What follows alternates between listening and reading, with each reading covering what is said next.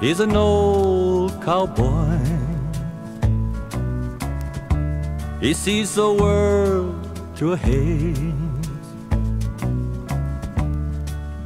dreaming his dreams of cowboy days.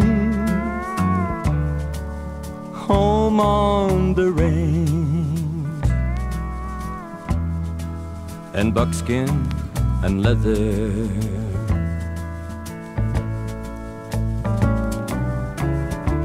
He'll talk of roads to home and hard ways to go, and the time that he rode in the big rodeo and never got thrown in buckskin and leather.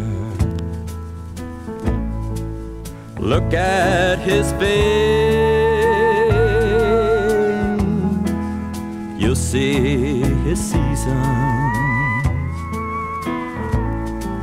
And look in his eyes. You'll see his reasons. In the yarns that he spins about the places he's been about the people and friends and the sins that he sinned and the grins that he's grinned in buckskin and leather.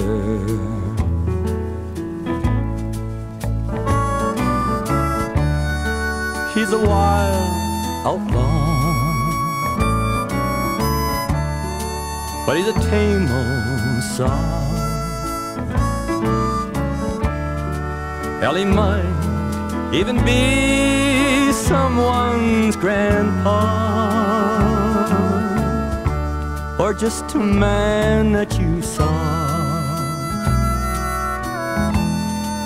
in buckskin and leather.